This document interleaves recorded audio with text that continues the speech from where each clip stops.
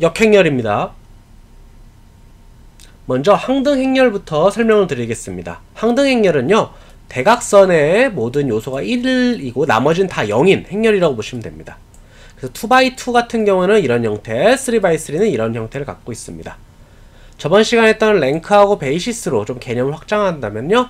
하나의 베이시스, 하나의 베이시스가 있을 때 여기 우리 좌표로 보면요. x, y 축의 가장 기본되는 벡터에 해당이 됩니다. 그래서 요걸 기본으로 만들어진다고 보시면 돼요. 뭔가 좀 복잡한 것 같다. 우리가 덧셈에서요. 0을 더하면 자기 자신이 되잖아요. 또 자기 자신을 빼면은 0이 됩니다. 곱셈에서 1을 곱하면 자기 자신이 되고 자기 자신을 자기 자신으로 나누면 1이 되잖아요. 이때 0이나 1 같은 존재가 바로 이 항등 행렬이라고 보시면 됩니다. 아이덴티티 매트릭스라고 하거든요. 그래서 역행렬은 어떻게 정의가 되냐면요. 어떤 A의 역행렬을 구하고 싶어요. 그 A란 행렬에다가 어떤 행렬을 곱했습니다. 그게 항등 행렬이 나올 경우 이 곱해진 행렬을 우리는 역행렬이라고 정의를 합니다. inverse matrix라고 합니다. 이렇게 지수에다가 마이너스 1을 적는 게 일반적입니다. 그래서 A 행렬이 다음과 같다고 했을 때 그 역행렬은 이렇게 가정을 해보겠습니다. 그래서 얘네들이 곱해서 1, 0, 0, 1이 나오면은 이게 바로 역행렬이 되겠죠. 그래서 차례대로 한번 곱해봤습니다. 곱해서 요게 1, 0, 0, 1이 되면 됩니다. 요거랑 요거랑 같아야 되고 요거랑 요거랑 같아야 되고 요거랑 요거랑 같아야 되고 요거랑 요거랑 같아야 됩니다. 그래서 1, 2, 3, 4로 한번 명칭을 어, 정해봤습니다. 이 상태에서 여기 푸는 방법은 모르셔도 돼요. 결과만 외우시면 됩니다. 한번 풀어봤습니다. 그래서 이렇게 예를 들어 1번 씩 3번씩 있을 때 하나에 대한 d를 곱하고 3번씩은 b를 곱해서 서로 빼주게 되면은 이 값이 나오게 됩니다. 2번씩에다가 d를 곱하고 4번씩에다 b를 곱해서 마찬가지 계산을 되면 f가 나오게 됩니다. 이런 식으로 반복을 해서 계산을 해주시게 되면요. 각이 fgh가 다음 값이 나오게 됩니다. 이 값을 좀 정리해 보겠습니다. 그러면 역행렬은 다음과 같이 정의가 됩니다. AD-BC분의 D 마이너스 B 마이너스 C A로 됩니다.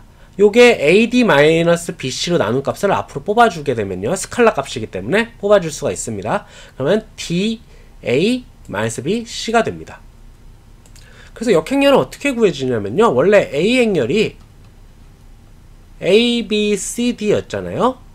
그러면은 역행렬은 AD-BC로 모든 값을 나눠주시고 먼저 A하고 D의 위치를 바꿔줍니다. 그 다음에 BC에는 부호를 마이너스를 붙여주는 이런 형태로 나오게 됩니다. 이건 반드시 외워주셔야 됩니다. 앞에 풀이 방법은요 모르셔도 됩니다. 근데 요거는 반드시 외워주셔야 됩니다. 그런데 이 역행렬을 구할 수 없는 상태가 하나 있습니다. 바로 분모가 0에 들어가면 안 되죠. 그래서 요게 0이 될 경우 바로 역행렬을 구할 수가 없습니다. 그래서 이거를 우리가 판별식 혹은 discrinan- discriminant라고 정의를 하며 D라고 씁니다. D는 AD-BC고요. 이게 0이 되는 상황은요. 역행렬 계산이 불가능한 상황입니다. 반면에 0이 아니면요. 역행렬 계산이 가능하다라고 보시면 됩니다. 그래서 요거 판별식 판별식은 꼭 알아두셔야 됩니다. 역행렬식하고 판별식 요거 두 개는 꼭 알아두세요. 그래서 한번 예제를 해보겠습니다. 먼저 A의 역행렬 한번 구하라고 해보겠습니다. 먼저 판별식부터 한번 구해보는 거예요.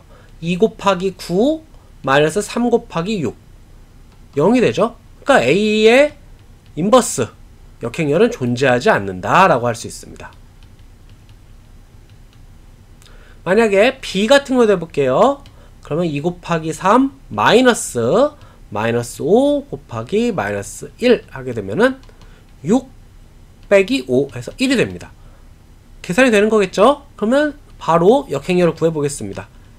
AD-BC 판별식이죠? 분의 1 순서 바꾸기 3, 2, 그 다음에 부호 바꾸기 이렇게 됩니다. 아까 AD-BC BC가 1이니까 1분의 1에 3, 5, 1, 2가 됩니다. 그러면 3, 5, 1, 2가 되겠죠.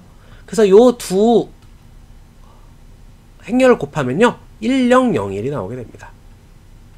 이런 식으로 역행렬을 구할 수 있습니다. 어, 요거 3, 3x3 매트릭스까지 보통 역행렬을 구합니다. 근데 뭐 실제로 손으로 푸는 일은 많이 없고요. 가끔 뭐 시험에서 나오긴 하는데 그거는 그때 외워주시면 돼요. 외워주시면 되는 거니까 큰 문제가 없습니다. 다만 이제 2차 정도는 직접 손으로 계산할 일도 많기 때문에 꼭 좀 해주셨으면 좋겠습니다. 그 이상의 행렬들은 손으로 절대 구할 수가 없습니다. 그럴 때 그냥 컴퓨터 돌리기 때문에 여러 가지 알고리즘에 의해서 어, 그건 신경 안 쓰셔도 됩니다. 그래서 기본 개념 오늘 역행렬에 대해서 한번 다뤄봤습니다.